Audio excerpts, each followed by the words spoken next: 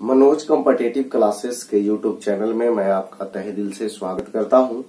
चलिए दोस्तों आज जो है अथर्ववेद से संबंधित वीडियो है। इससे पहले जो है हम वेद का तीन वीडियो दे चुके हैं। ऋग्वेद उसमें वेद का बे, बेसिक ज्ञान भी है और उसके बाद सामवेद उसके बाद जो है यजुर्वेद और ये जो है आपका आखिरी यानी चौथा वीडियो है। अथर्ववेद से संबंधित बहुत महत्वपूर्ण जानकारियाँ हम इस वीडियो में देंगे तो कृपया करके आप इस वीडियो के लास्ट तक बने रहिएगा। तो चलिए, इस वीडियो को हम स्टार्ट करते हैं। ध्यान दीजिएगा। अथर्ववेद। यह जो है, सबसे नया वेद है। सबसे पुराना वेद हम आपको बता चुके हैं, ऋग्वेद को कहा जाता है। यह सबसे नया वेद है। कौन वेद? तो अथर्ववेद। ठीक है? अथर्ववेद को ब्रह्म वेद भी कहते हैं। क्या कहते हैं? ब्रह्म वेद अथर्ववेद को और क्या कहते हैं? तो ब्रह्म वेद भी कहते हैं, यह सबसे नया वेद है। अथर्वा नामक ऋषि, अथर्वा नामक ऋषि के नाम पर इस वेद का नाम अथर्ववेद पड़ा। अथर्वा नामक ऋषि पर इस वेद का नाम अथर्ववेद पड़ा। ठीक है? किस किस, कौन सा ऋषि के नाम पर? अथर्वा नामक ऋषि के नाम पर इस वेद का नाम अथर्ववेद पड़ा। आगे देखिएगा, इससे तंत्र मंत्र जादू टोना प्रेम विवाह आदि का जानकारी मिलता है। इसी तरह का चीज़ जो है, जानकारी मिलता है। इस वेद से अथर्ववेद में 20 अध्याय हैं।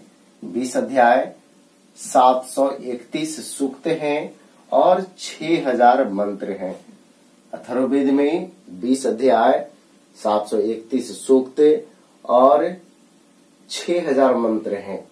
आगे देखिएगा, मगध का सर्वप्रथम उल्लेख जो है, अथर्ववेद में मिलता है। किस वेद में? अथर्ववेद में तो डायरेक्ट क्वेश्चन आपसे पूछ सकता है कि मगध का उल्लेख जो है, सर्वप्रथम कहा से मिलता है? तो आपका आंसर होता है अथर्ववेद से। अथर्ववेद से। अब देखिए, अथर्ववेद में सभा और समिति को प्रजापति की दो पुत्रियाँ कहा गया है। ये बहुत ही महत्वपूर्ण प्रश्न है, कई बार एग्ज़ाम में पूछा भी है। तो अथर्ववेद में सभा और समिति को प्रजापति प्रजापति की दो पुत्रियाँ कहा गया है। क्वेश्चन पूछेगा इस तरह से कि प्रजापति सभा और समिति को प्रजापति की दो पुत्रियाँ किस वेद में बताया गया है? तो इसका आंसर होगा क्या? अथर्ववेद, जो सबसे नया वेद है। आगे, अथर्ववेद पढ़ने वाले ब्राह्मण को ब्रह्मा ब्रह्मा कहा जाता है। अथर्ववेद पढ़ने वाले ब्राह्मण को ब्रह्मा कहा जाता है। अथर्ववेद से कुरु राजा परीक्षित कुरु राजा परीक्षित का उल्लेख है। यानी कहने का मतलब अथर्ववेद में कुरु के राजा परीक्षित का उल्लेख मिलता है, जिन्हें मृत्यु लोक का देवता बताया गया है। जिन्हें मृत्यु लोक का देवता बताया गया किन को परीक्षित को।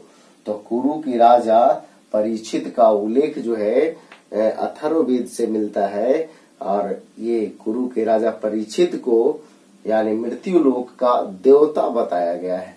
आगे देखिएगा। अथर्ववेद का उपवेद कौन है? तो शिल्प वेद ये उपवेद जो है बहुत ही महत्वपूर्ण है। चार, चारों वेद का अलग अलग उपवेद है। सब में हम बताए हैं आपको। तो अथर्वेद का उपवेद कौन है? तो शिल्प वेद है। आगे देखिएगा अथर्वेद का एकमात्र ब्राह्मण ग्रंथ है, वो है गोपथ ब्राह्मण ग्रंथ। गोपथ ब्राह्मण ग्रंथ। अथर्वेद का एकमात्र ब्राह्मण ग्रंथ कौन है? तो गोपथ ब्राह्मण ग्रंथ है। अब देखिए, काशी का प्राचीनतम उल्लेख जो है, अथर्व, अथर्ववेद से मिलता है। काशी का प्राचीनतम उल्लेख जो है किस वेद से मिलता है? तो अथर्ववेद से। अब देखिए, अथर्ववेद का फारसी में अनुवाद जो है, इब्राहिम सरहिंदी ने किया था। इब्राहिम सरहिंदी ने किया था। किसका फारसी में अनुवाद? अथर्ववेद का। अथर्ववेद का फारसी में अनुवाद जो है, इब्राहिम सरहिंदी ने किया था। आगे देखिएगा फिर से एक बार। तो अथर्ववेद, यह जो है, सबसे नया वेद है। इसको ब्रह्म वेद भी कहते हैं। इसे ब्रह्म वेद भी कहते हैं, अथर्वा नामक ऋषि के नाम पर इस वेद का नाम अथर्ववेद पड़ा था। अब देखिए, इससे तंत्र मंत्र, जादू टोना, प्रेम विवाह आदि का जानकारी मिलता है। तो आपको क्वेश्चन पूछेगा कि जादू टोना का जानकारी किस वेद से तो अथर्ववेद से, जैसे संगीत का जानकारी किस वेद से तो साम वेद से, उसी तरह से पूछेगा यहाँ पे, ठीक है? तो अथर्ववेद में 20 अध्याय हैं। 731 सूक्त हैं और 6000 मंत्र हैं। किसमें? तो अथर्ववेद में।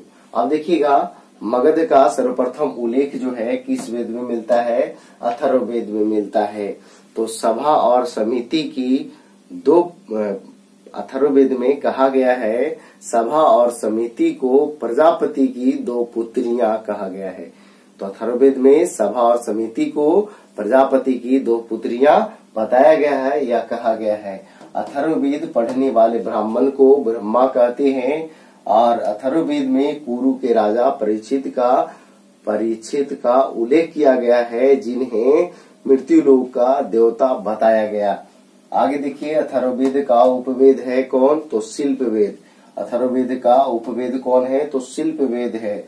और अथर्ववेद का एकमात्र ब्राह्मण ग्रंथ कौन है? तो गोपथ ब्राह्मण ग्रंथ है। आगे देखिएगा, काशी का प्राचीनतम उल्लेख जो है, अथर्ववेद से मिलता है। काशी का प्राचीनतम उल्लेख अथर्ववेद से मिलता है।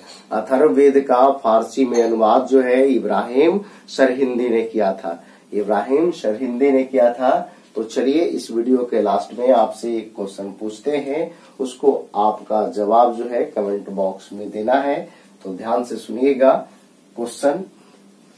सबसे सबसे बड़ा ब्राह्मण ग्रंथ। सबसे बड़ा ब्राह्मण ग्रंथ। कौन है, वो आपको बताना है, ठीक है? यानी कौन है? ये आपको बताना है, ठीक है? सबसे बड़ा ब्राह्मण ग्रंथ कौन है, ये आपको कमेंट बॉक्स में बताना है। तो चलिए, आज इतना ही। अगर ये वीडियो पसंद आया तो आप लाइक, कमेंट, शेयर ज़रूर करें। और इतना ही। जय हिंद, जय भारत, वंदे मातरम। स्क्रीन शॉट कीजिएगा, कर लीजिए।